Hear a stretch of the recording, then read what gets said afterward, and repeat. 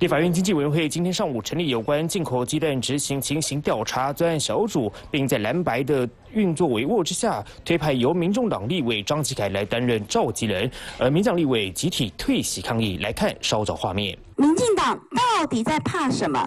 到底在怕什么？为什么不愿意把真相公开？刚才邱应委员说：“哦，其实检调可以查所有的案子啊。”我现在想要质疑的是，民进党委员现在已经是可以指挥检调办案，是不是？所以他可以指使检调说：“你全部案子要查呀。”为什么我们可以查，我们不自己查，还要交给检调？你看，四至五八五号里面就说，国会应有调查。权不是要调阅资料，是要自行调查。检调查了一年多了，一年多了不公开，而且也没有进度。赖委员为什么不相信自己呢？为什么不相信说我们可以一起合作？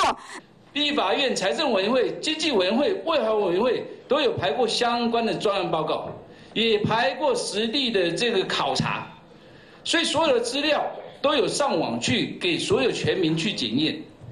所以为什么还要违宪违法成立调查委员会？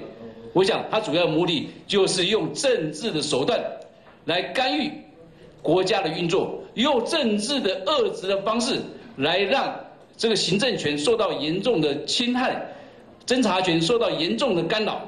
所以，对于这种违法违宪的成立这个调查委员会、调查小组，啊，我们经济委员会民党团所有成员。用啊最严正的态度，我们退席抗议。